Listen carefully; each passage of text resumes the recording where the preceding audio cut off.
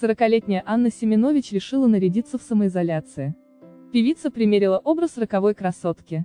Звезда шоу-бизнеса соблюдает домашний режим. Анна делает акцент на юморе, записывая смешные ролики. Семенович даже показала себя с лишним весом, подняв настроение пользователям. Сегодня певица взяла ориентир на соблазнение. Артистка опубликовала кадр, на котором предстала в чувственном образе. На ней было черное платье-комбинация с кружевом и белый удлиненный жакет. Она уложила волосы в элегантную прическу и дополнила лук ярким макияжем с алой помадой. Анна приняла эффектную позу в кресле, продемонстрировав стройные ноги. «Пантера перед уборкой квартиры», с юмором написала Семенович. Образ звезды вызвал у поклонников бурю эмоций. Многие оставили певице комплименты, отметив, что даже в режиме самоизоляции ей удается выглядеть сногсшибательно.